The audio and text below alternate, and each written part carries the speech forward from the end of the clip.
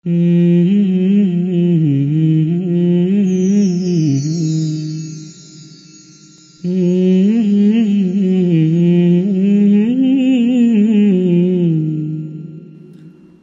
الله الحمد لله والصلاة والسلام على رسول الله وعلى آله وصحبه ومن والاه أما بعد أحبتي في الله أوصيكم وإياي بتقوى الله faqad faza almuttaqun. Ndugu katika imani leo tutakumbushana kuhusiana na aya aliyoitaja allah tabaraka wataala ndani ya qurani katika surati namli aya ya arobaini. Allah subhanahu wataala ndugu zangu katika imani alikuwa anaelezea kisa cha nabiullahi suleimani alaihi ssalam pamoja na watu wake. Allah anasema qabla an yartadda ilaika tarfuk. Hiki ni kipande cha aya na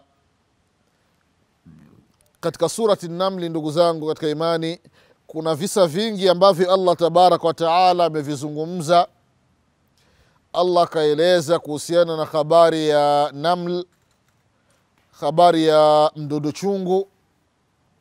Vile vile allah tabaraka wataala akaeleza habari za hudhud na vile vile allah tabaraka wataala akaeleza habari za majini kuhusiana na pawa waliopewa na allah tabaraka wataala na katika hiki kipande cha aya ndugu zangu katika imani qabla an yartadda ilaika tarfuk kabla ya kupepesa macho yako. Kuonyesha namna ya uwezo wa allah subhanahu wa taala ulivyo.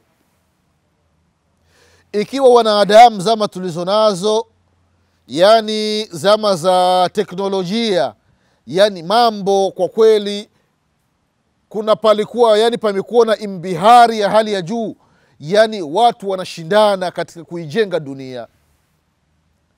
Mtu anajenga nyumba ghorofa zaidi ya mia moja zaidi ya mia moja. Yani mtu hadi kuangalia juu yatakiwa yani upandishe kichwa juu ndio unaangalia mwisho wa ghorofa. Hiyo ni dunia. Angalia wanadamu mtu anamiliki simu mtu yupo mashariki mwingine yupo magharibi anaongea naye utafikiri mtu yupo chumbani hapa. Yaani namna teknolojia ilipofikia ndugu zangu katika imani yaani mtu anaongea na mtu kwenye, kwenye simu anamwona huyu ni fulani anafanya moja mbili tatu. Yaani dunia kama dunia imekuwa ni kiganja kiganja cha mkono. Mambo ambayo yanatokea nchi fulani muda wa dakika kadhaa unayaona kwenye simu yako yote haya ndugu zangu katika imani ni kuonyesha ilmu ya allah tabaraka wataala aliyowapa waja wake. Na kufahamu ya kwamba ikiwa allah tabaraka wataala amewapa ilmu wanadamu wanafanya mambo kama haya itakuwaje ilmu ya allah subhanahu wa taala allah ana ilmu kiasi gani ndugu zangu katika imani? Allah ana uwezo wa hali gani ndugu zangu katika imani? Je utamfananisha na kiumbe? Hapana. Uwezo wa allah subhanahu wa taala hauna mfano ndugu zangu katika imani ikiwa wanadamu wanafanya yote tunayoyaona yote tunayoyaona itakuwaje allah tabaraka wataala ni kwamba ndugu zangu katika imani baada ya nabiullahi suleimani alaihi salam kukagua majeshi yake kuna majeshi ya wanadamu kuna majeshi ya majini kuna majeshi ya wanyama kuna majeshi ya wadudu majeshi ya ndege mbalimbali. Nabiullahi suleimani alaihi ssalam anauliza kwamba mali ya la ara lhudhuda amkana min alghaibin? Mbona ndege hudhud simuoni?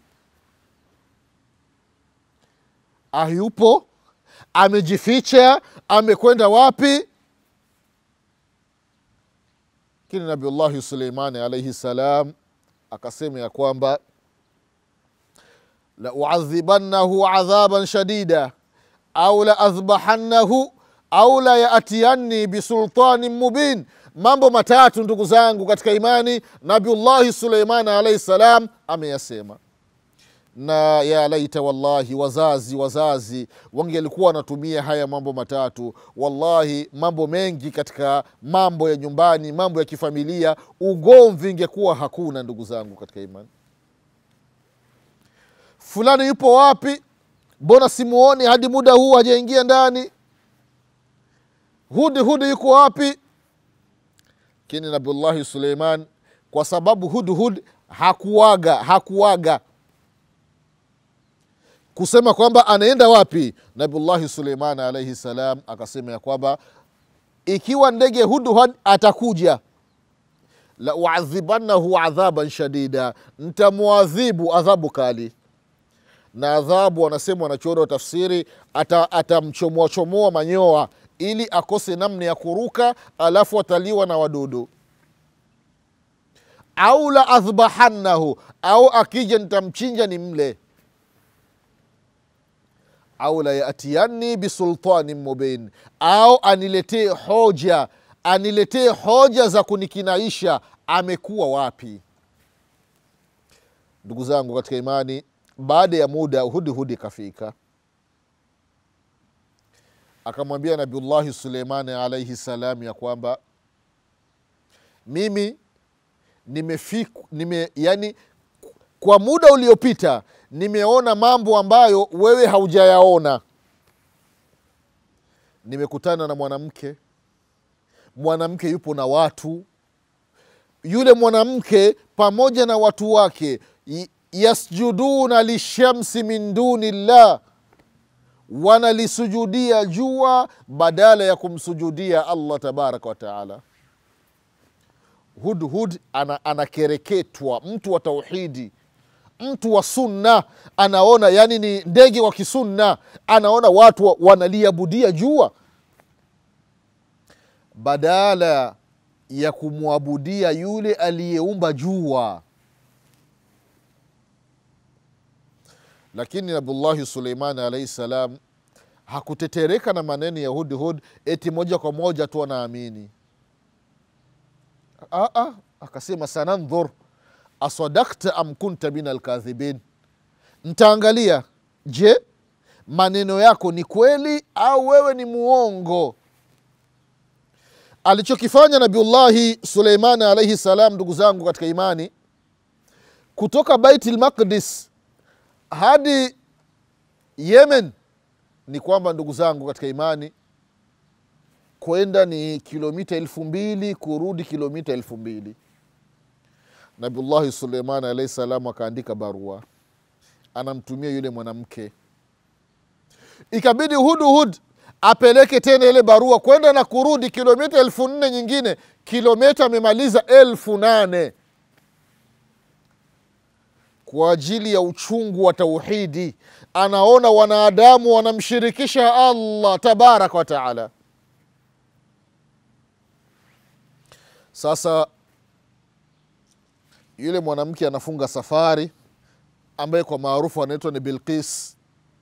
Anatoka yemen anakuja baiti lmaqdis sasa nabiullahi suleimani alaihi salam anawaambia watu wake yule mwanamke alikuwa na kiti na naye cha ufalme ayukum yatini biarshiha kabla yatuni muslimin. Nani atakayeleta kiti chake kabla yule hajafika? Na kujisalimisha kwangu. Ifritu min aljini akasema nitakuletea hicho kiti kabla hujasimama katika katika eneo la hukmu.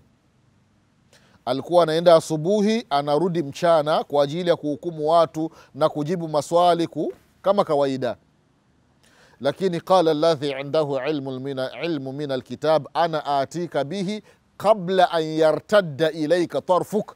Kwamba mimi nitakuletea hicho kiti hicho yani kabla haujapepesa macho. Angalia uwezo wa allah tabaraka wataala wanaeleza wanachuoni wa tafsiri yule bwana alikuwa anajua jina la allah kubwa. Akamwomba allah kwa kutumia lile jina kiti kikatembea chini ya ardhi hadi mbele ya nabiullahi suleiman. Nabiullahi suleiman anapepesa macho anakiona kiti kimefika.